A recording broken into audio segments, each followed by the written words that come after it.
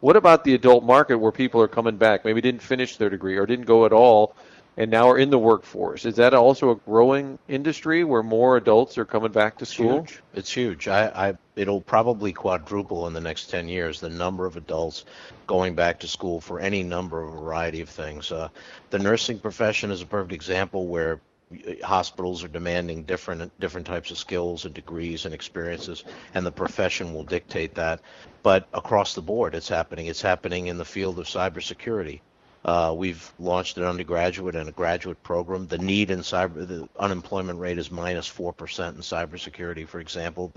I talk to CEOs all over St. Louis. They are desperately looking for people in cybersecurity.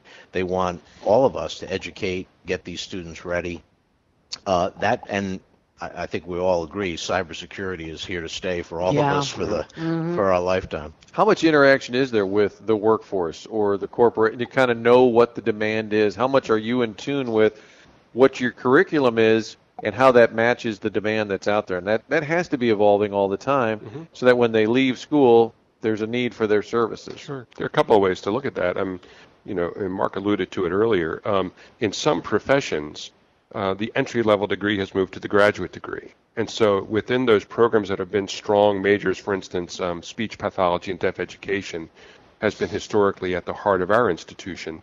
You know, more and more, the graduate degree now is the preferred degree for students entering the market uh, for work. So we have to change to adjust to that.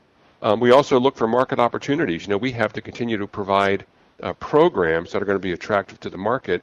Uh, we launched a new Master of Science in Computer Science uh, interestingly enough, we have 35 students from India this fall enrolled in that program.